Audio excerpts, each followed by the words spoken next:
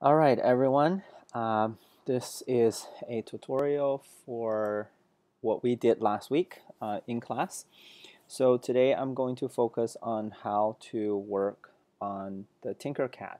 And um, I thought uh, making a video um, will be easier for you to learn and to follow step by step if you want to watch over um, again and again uh, in case you don't understand.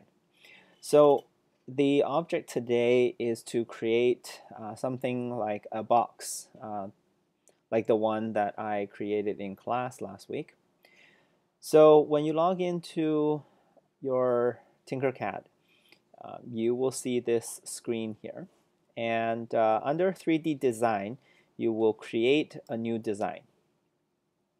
Okay, so once you click on the create new design to, uh, button, this work plane um, shows up. So just a few things to start with. Uh, first of all, there's on this right hand side all the shapes and the holes that you are uh, that are available to you.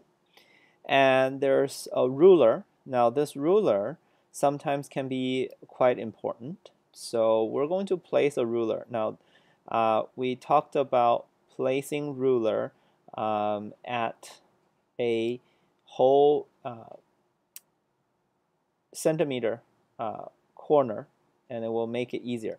Now, um,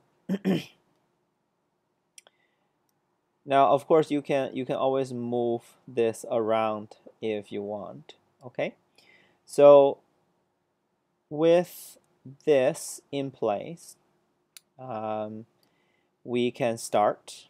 And uh, there's one more thing on the bottom here that it says uh, snap grid. And under this draw button here you have various choices. We're going to stick to 1.0 millimeter which means that when you move an object it's going to move uh, one millimeter at a time okay? So we're going to start with a box and uh, so the difference between these two boxes is that one is a solid, one is a hole. So uh, using the solid will create something that is going to be printed once you uh, use it on the 3D printer. Okay, so here I have a rect uh, I have a cube, and uh, and you can see that I have aligned it to my origin, which makes things a little easier when you move things around. So first of all, I'm going to change the dimensions and uh, I'm going to change the height to 10 millimeter and change the length to 30 millimeter and change the width. I'm going to keep the width at 20 millimeter. Okay. So my goal is to create a box and the box is going to have a thickness of let's say 2 millimeter. Okay? So, which means that we're going to have to cut out uh, the middle. Okay? And uh, if you think about 2 millimeter uh, on each side here, so we're going to create a hole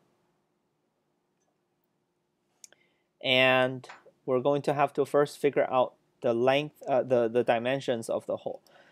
So with a 2 millimeter bottom, and uh, we're going to set this hole to 8 millimeter high, um, and uh, the uh, the box is going to be uh, 2 millimeter from left, uh, 2 millimeter thick on the left side and on the right side. So taking away 2 millimeter on each side uh, leaves you with um, 20 six millimeter. And uh, and this one is at 20 uh, millimeter. So if we want 2 millimeter on each side, we're going to do this at 14 millimeter. Okay. So then uh, we want the the hole we want to see the hole. So we want to have the bottom uh, showing as the bottom. So what we're going to do is we're going to lift this up by 2 millimeter. Okay, so this uh, this little cone shape button here uh, allows you to move the shape up and down and so you can see that here's a an arrow that shows it's two millimeter from the um, from the from the bottom. So now I can move this hole right in. Oh somehow I did this. I typed in 14 I meant 16 uh, because we want 2 millimeter on each side. And uh, so when we zoom out a little bit uh, you can see that it's showing that this shape here is 2 millimeter from there and but it's only 1 millimeter here. So you can use the left and right button. So I'm pressing the right button here and so it moved the hole 1 millimeter to the right okay? So now this hole is essentially centered into that uh, cube there. I'm going to select uh, I'm going to select both shapes here. And you can see that when you selected both shapes, there it shows you that you have selected two shapes up here. Okay? And so now I'm going to use this button here to group these two shapes together.